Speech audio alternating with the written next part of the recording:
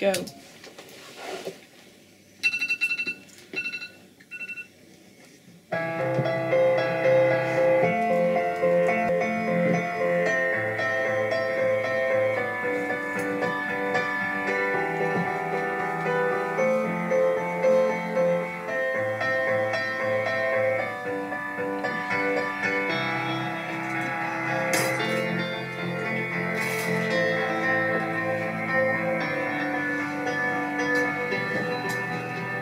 Bible.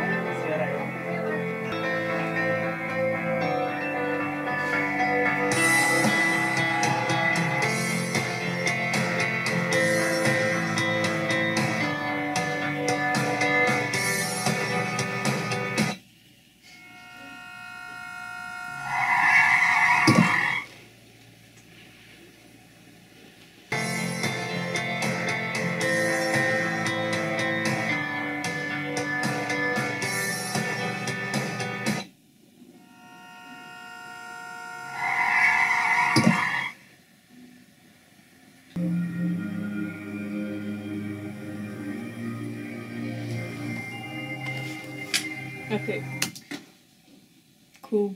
So at the beginning when I was watching it, like because of the music, it I thought it was gonna be like quite happy or like quite like inspirational or something. But then like it just all of a sudden just changed and it was like completely different to what I expected it to be. So it's it was really dramatic in the end. Nice storyline, basically. Uh, I understood the like, like kind of how you use the techniques to go as it, how it, your like genre is a drama. Yeah, was it about not using your phones? Was it? No.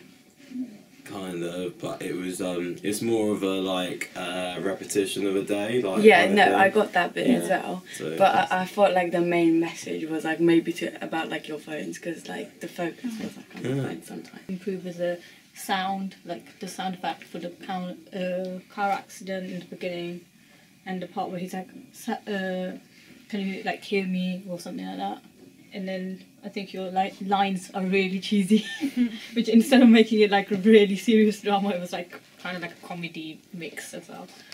Um, I have no idea. I thought it was really good. So yeah, good overall, I suppose.